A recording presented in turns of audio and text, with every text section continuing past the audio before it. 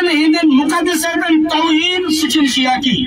بلکہ ساری مسلمان بوئی بوئی مگر ام الطاف بخاری اس پانس پانس بخاری ونان لفظ بخاری۔ بہرحال قرآن اعلان کران کہ اس سارنی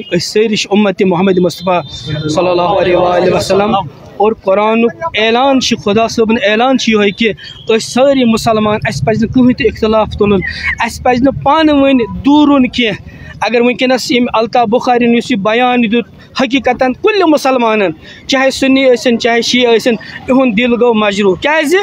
یمس مطلق امون یعنی نواس رسول اللہ صلی اللہ علیہ وآلہ وسلم ون یہ کہ یم وی ہسا کور امام حسین علیہ الصلوۃ والسلام شہید ہسا کور حقیقتا یہ تس کتھا اخ بچگانہ حرکت کرم اور امس پز یہ پن بیان واپس نیون اور امس پز میڈیاز برو کن توبہ کرن یل یہ توبہ کر تم سات بخشوس اس اگر نہ ام توبہ کور تیل محمد مصطفیٰ صلی اللہ علیہ وسلم امس ناراض اور امام حسین علیہ الصلوۃ والسلام امس ناراض